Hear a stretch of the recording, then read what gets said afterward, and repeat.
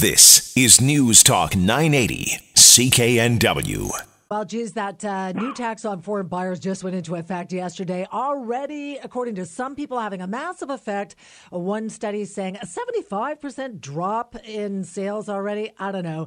We know for sure it's having an impact. How big? Who knows? Uh, let's bring in Michael Campbell. He's the host of Canada's top rated financial show. You know it. It's called Money Talks. It's time for our midweek money report. And, uh, Mike, for those who haven't really heard the sales numbers yet, uh, released earlier today, uh, paint us a picture of what's going on.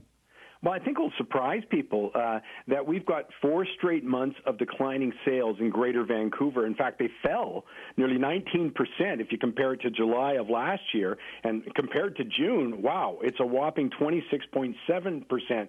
So we're already in a slower market. And everybody's been screaming about unaffordability, wanting to see the prices drop. What has happened to prices? Well, not much so far. I mean, we're still looking at that benchmark in Greater Vancouver, about 930,000. That was up 1.4% from June. And here's the big killer. I mean, it's up 32.6% from the same month last year. But here's the thing that's not unnorm- uh, unusual, rather. It usually takes a while before someone says, you know what, I'll put my home on sale. You need lots of months of really slowing sales before somebody does that, and I think that's what we're experiencing. So I, I would expect uh, no big drop in sale, uh, sorry, in prices until if and when that happens, and you've seen sort of the the whole market start drying up. So maybe later in the fall, but mm. that's as soon as I'd expect it. Uh, there's still a lot of people out there concerned about affordability. Not really much for them to be cheering about, I guess. No, you know this is the big thing. You know I'm on about this all the time, but we've got to separate that market. We we scream about high prices, but we're talking about a market that the entry level isn't even looking at. I mean, I've got got I've got a son who's looking right now, and he certainly isn't looking to anything even in the mid or high mid to the you know those stratosphere prices right now. He's looking at the entry level, mm-hmm. and so no, because I mean the bottom line is that's getting driven by in migration and record low interest rates, and certainly not a sign of either of them changing. You know, it's always interesting though, as you've both been on the other end of this, you're hearing people cry out for the government to do something. Right. Well, my response is they already have. It's called record low interest rates. I mean, prices at the entry level, uh, uh, you know, are really impacted by those record la- rates. I was looking at 1995. Whatever you'd pay on a $250,000 five-year mortgage, that's the same that you'd pay on a monthly basis on a $450,000 mortgage today. I mean, nothing else happens, but those rates drop so far that uh, you basically get nearly double the cost, uh, you know, for the same mortgage payment. So no wonder the prices are higher. Yeah, absolutely. Now that doesn't reflect this new 15% tax on foreign buyers. So, uh, what is the impact of that? What are you seeing? Well, I, it's interesting because maybe not what people expected, but it's already had a big impact. I was looking at the Vancouver Sun. They're reporting that 15,000 property transfer applications were filed with the BC Land, Title, and Survey Authority just on Thursday and Friday. It's mm-hmm. a record number, and it actually crashed their electronic filing system. As I say, that's not unexpected, but I mean, that wasn't expected by a lot of people, but you see it all the time. If you get, say, someone says the price of something or other is going up big on Monday, well, a lot of us will start shopping on the weekend before that price goes up. You've seen it with mortgage rates, by the way, in the past.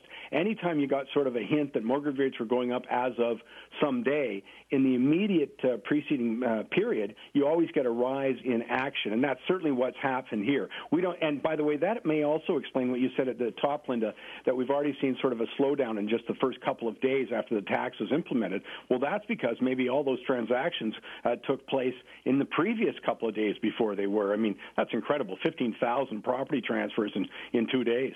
Yeah, exactly. Uh, now, Mike, the, the, the, big question here is, and we seem to touch on it every single week. We've had guests on the show that predict this is the way things are going to go. You've alluded to it as well. With this slowdown, uh, could this be the beginning of a market correction?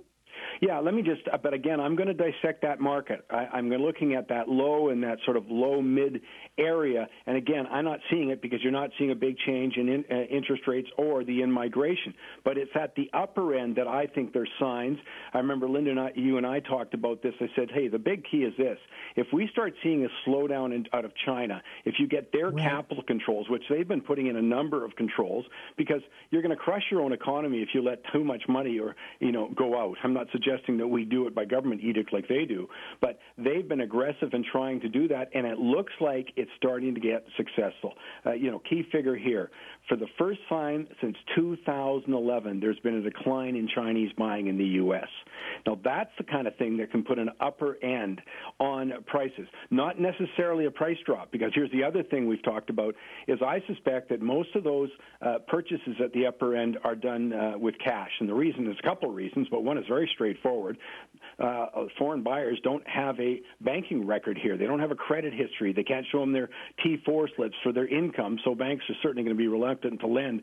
So I suspect there's a lot of cash in that upper end. So it's not going to be any forced liquidation, but it may just be, again, a market that just really slows down in terms of the number of transactions. Yeah, and you know what? I've been reading stories about the China credit bubble possibly about yeah. to burst. Drex was just alluding to the fact are we going to see a correction here?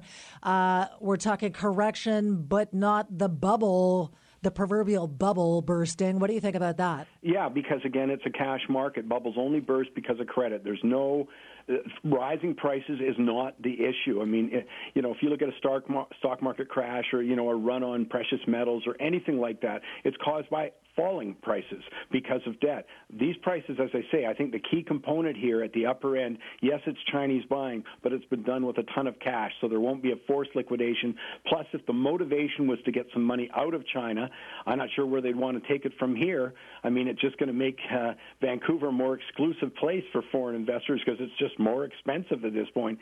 So I'm not really worrying about the big price crash at this point. And I know I, I'm with you, Lynda. You're hearing a lot about it. I, I'm not seeing it at this point, but I can see that the number I saw to the states that one that really grabbed my attention. There's finally a slowdown in Chinese, Chinese buying. That's the thing I've been keeping my eye on, and we'll see how fast it gets to Vancouver. The new 15% property tax may be just the thing to do it. Michael Campbell, the host of Canada's top-rated financial show Money Talks, catch it weekends here on CKNW. Mike, we'll chat to you next week. Super, thanks. Vancouver's News, Vancouver's Talk. This is News Talk 980, CKNW.